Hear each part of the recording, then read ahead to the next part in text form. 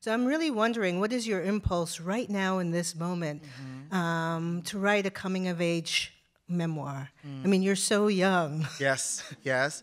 Uh, thank you, thank you for that. Uh, I feel that if you are not a straight white man of literary stature, everyone else um, has to justify their story, and certainly the memoir, and and and certainly a memoir that, as my intention with this book, is in conversation with the American story, Right. right? When we like the, the Great American Book, there's an assumption that the Great American Book is written by, uh, you know, a, a rich straight white man, you know, who doesn't think he needs to go on the Oprah Book Club.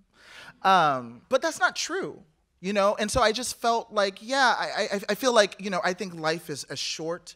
I, I obviously I, I think a lot about peril. Mm-hmm. I, I don't think any of our potential guarantees us another moment. It doesn't matter. You have a good book in you, or good art, or you're really smart. You could walk out of here and die tonight, and that's just how it goes.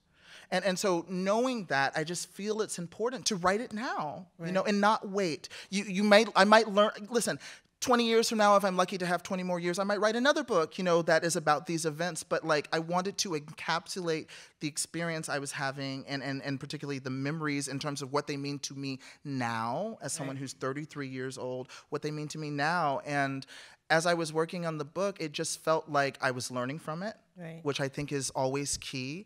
And America kept reminding me that I needed to finish this damn book.